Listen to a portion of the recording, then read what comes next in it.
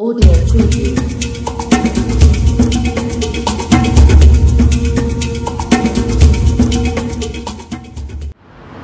Visionaries Aloud.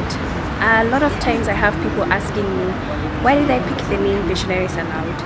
Honestly, it was born in an apartment in 2013 when I was doing my internship at an international non-profit organization. And that's where I met my partner, Banis Auma.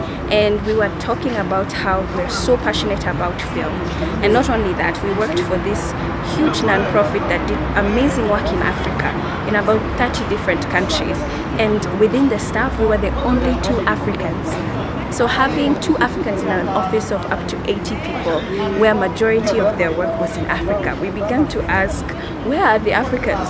We're here discussing peace in Africa, we're discussing the youth, we're discussing communities, but they're not even in these meetings, their voices are not being heard. So we decided to start a platform where we could have media through cameras and being able to train and educate specifically the youth. Because the youth constitute for about 70% of the African population.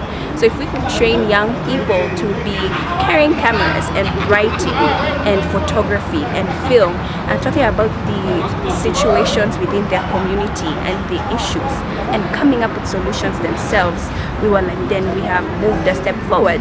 And so we named it Visionaries because you have to be a visionary leader to do so. And we named it Aloud because you have to have a voice.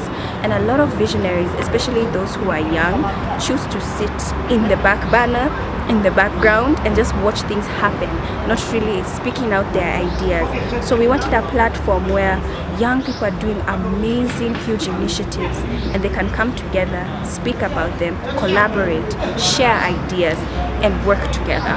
And so that's where Visionaries Aloud was born. We're hoping to see it grow in ways where young people are passionate about what's happening in their country and they're contributing to solutions and coming up with solutions themselves and being able to document such processes so that they can adopt such plans in other areas around the country and around different parts of Africa. So for now we have a staff of three. We have Eric, Sharon and Beth who work tirelessly day and night supporting VA and I'm sure we're going to see it grow even more. Audio Preview.